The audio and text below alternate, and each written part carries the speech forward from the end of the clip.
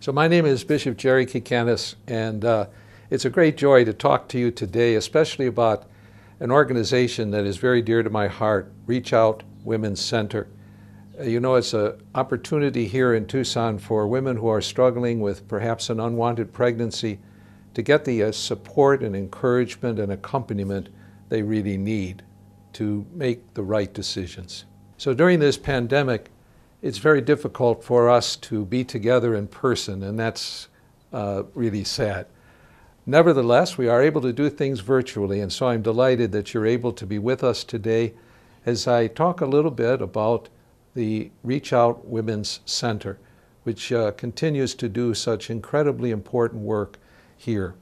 You know, this is an opportunity for you to show your support, to encourage this incredibly important organization uh, in the accompaniment they bring uh, to women who are dealing with a pregnancy. So, among the things that Reach Out Women's Center does in our community is, first of all, provide pregnancy tests for women who are wondering whether they are pregnant.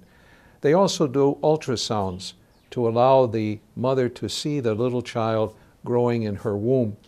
And they also provide clothing and diapers and all the things that a young baby needs, uh, which a mother may not have available to her.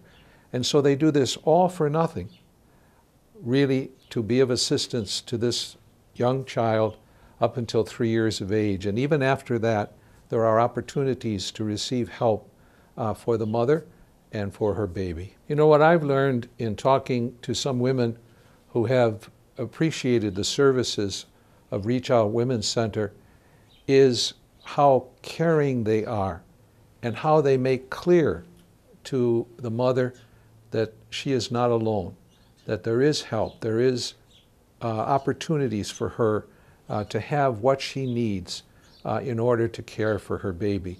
Uh, and this has been such a reassurance to these young women uh, that they are not alone. And it's all because the staff and people at Reach Out Women's Center care. They care deeply. And uh, that's truly a blessing. You know, last year I was delighted to serve as the MC for our Reach Out Women's Center gala over at the Tanque Verde Guest Ranch. It was a lovely evening, and not only was it enjoyable, but people were so generous in providing support for the work of Reach Out Women's Center. Now, this year, obviously, we can't do it in person. We're doing it virtually. But I hope you would consider supporting the great work and mission of Reach Out Women's Center.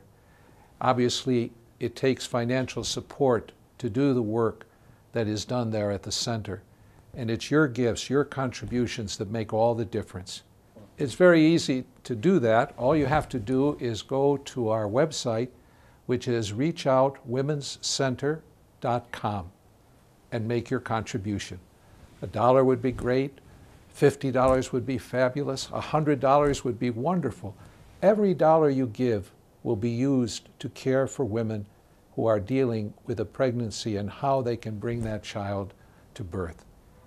We're so grateful for the support you give. And by the way, next year we're planning another Boots and Bling uh, on November 7th of 2021.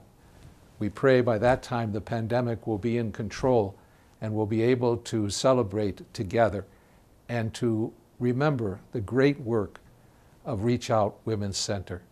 Thanks so much for being with us.